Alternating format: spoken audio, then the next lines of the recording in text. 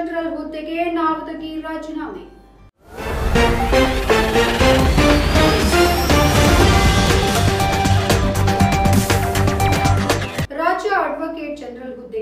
ವಕೀಲ ಪ್ರಭುಲಿಂಗ ನಾವದಗಿ ಭಾನುವಾರ ರಾಜೀನಾಮೆಯನ್ನ ನೀಡಿದ್ದಾರೆ.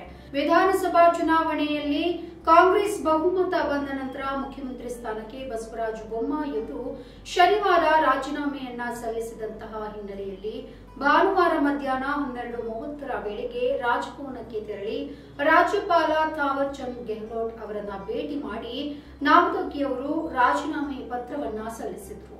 ಎರಡು ಸಾವಿರದ ಹದಿನೆಂಟರಲ್ಲಿ ಬಿಎಸ್ ಯಡಿಯೂರಪ್ಪ ಮುಖ್ಯಮಂತ್ರಿಯಾದ ವೇಳೆಯಲ್ಲಿ ಪ್ರಭುಲಿಂಗ ಅವರನ್ನ ಅಡ್ವೊಕೇಟ್ ಜನರಲ್ ಆಗಿ ನೇಮಕ ಮಾಡಲಾಗಿತ್ತು. ಯಡಿಯೂರಪ್ಪ ಅವರು ಬಹುಮತ ಸಾಬೀತುಪಡಿಸಲು ವಿಫಲವಾಗಿ ರಾಜೀನಾಮೆ ನೀಡಿದ್ದ ಹಿನ್ನೆಲೆಯಲ್ಲಿ ಎರಡು ಸಾವಿರದ ಹದಿನೆಂಟರ ಮೇ ಮೂವತ್ತೊಂದರಂದು ಅಡ್ವೊಕೇಟ್ ಜನರಲ್ ಹುದ್ದೆಗೆ ನಾವುದಗಿ ರಾಜೀನಾಮೆಯನ್ನ ಸಲ್ಲಿಸಿದ್ರು. ಎರಡು ಸಾವಿರದ ಹತ್ತೊಂಬತ್ತರಲ್ಲಿ ಯಡಿಯೂರಪ್ಪ ಮತ್ತೆ ಮುಖ್ಯಮಂತ್ರಿ ಆದ ನಂತರ ನಾವದಗಿಯಲ್ಲಿ ಎರಡು ಸಾವಿರದ ಹತ್ತೊಂಬತ್ತರ ಜುಲೈ ಮೂವತ್ತರಂದು ಪುನಃ ಅಡ್ವೊಕೇಟ್ ಜನರಲ್ ಆಗಿ ನೇಮಕಗೊಂಡು ಈವರೆಗೆ ಕಾರ್ಯವನ್ನ ನಿರ್ವಹಿಸ್ತಾ ಇದ್ರು.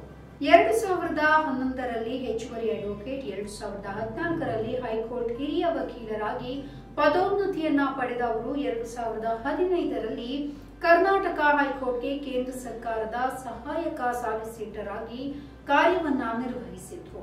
ರಾಮನಗರ ಜಿಲ್ಲೆಯ Bidadi taluk Eagleton golf resort ನಿರ್ಮಾಣಕ್ಕೆ ಎಪ್ಪತ್ತೇಳು ಎಕರೆ ಹತ್ತೊಂಬತ್ತು ಗುಂಟೆ ಸರ್ಕಾರಿ ಜಮೀನು ಒತ್ತುವರಿ ಮಾಡುವುದಕ್ಕೆ ಒಂಬೈನೂರ ಎಂಬತ್ತೆರಡು ಕೋಟಿ ರೂಪಾಯಿ ಸರ್ಕಾರ ಸೂಚಿಸಿದ ಪ್ರಕರಣ ಮತ್ತು ಶಾಲೆಗಳಲ್ಲಿ ಹಿಜಾಬ್ ಧಾರಣೆ ನಿಷೇಧ ಪ್ರಕರಣದಲ್ಲಿ ಹೈಕೋರ್ಟ್ನಲ್ಲಿ ನಾವದಗಿಯವರು ಪ್ರಬಲ ವಾದವನ್ನ ಮಂಡಿಸಿ ಸರ್ಕಾರ ಜಯ ಪಡೆಯಲು ಕಾರಣರಾಗಿತ್ತು.